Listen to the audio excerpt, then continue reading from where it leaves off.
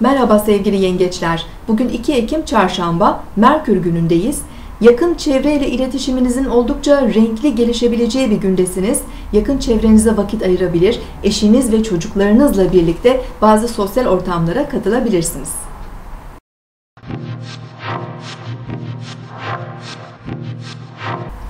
Burcunuzu dinlediniz. Bugün 2 Ekim Çarşamba, Merkür günündeyiz. Ay Başak Burcu'nda ilerliyor. Güne çalışkan, titiz, düzenli enerjiler veriyor. Sabah erken saatlerden itibaren Ay Merkür e, ahenkli açısı ve Merkür ile Neptün arasındaki üçgen açı hayal ettiğimiz düşünce ve planlarımızı uygulamaya koymakta ve pratik çözümler bulmakta zorlanmayacağımızı işaret ediyor.